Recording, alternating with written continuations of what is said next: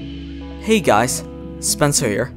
Quantum mechanics in chemistry has become an important part of the atomic models we use today, especially in determining the positions of particles within atoms.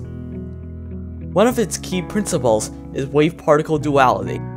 This is the idea that elementary particles, such as electrons, can behave like particles, being at a single point, while also exhibiting properties of waves and spreading out like sound.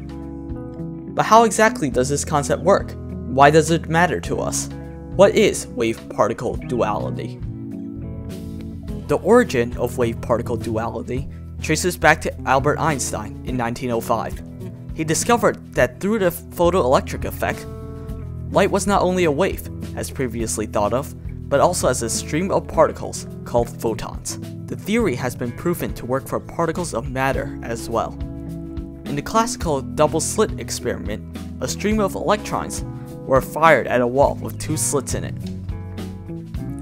Traditionally, according to classical mechanics, one might expect the particles to travel in a straight line with a large cluster at the paths of the two slits, and fewer electrons towards the side of the cluster. However, when scientists performed this experiment, the electrons actually landed mostly in several distinct groups through the two slits, forming a line-like pattern. This proved that the particles had wave-like behaviors and properties, just like the diffraction and interference of waves around the two slits. Particle positioning depends on probability, and electrons are said to take all possible paths in the experiment. The idea of particles coexisting and behaving like waves is essential in understanding quantum chemistry. The discovery of wave-particle duality also improved upon the atomic model. In 1911, British scientist Ernest Rutherford used his gold foil experiment to show that atoms contained a central nucleus and electrons scattered around it, similar to how the planets orbit the sun. However, the major problem of this model was that the orbit of electrons would eventually decay and crash into the nucleus, according to classical mechanics.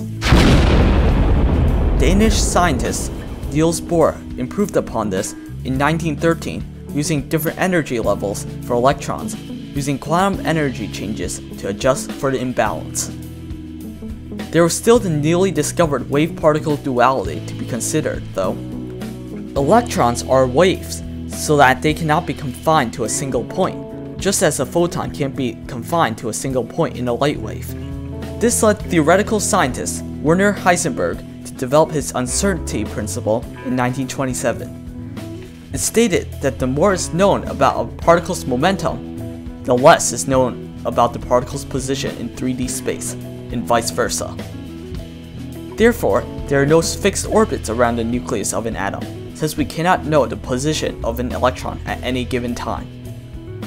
Rather, the modern-day atomic model uses an electron cloud to estimate the probability of an electron being at a certain position.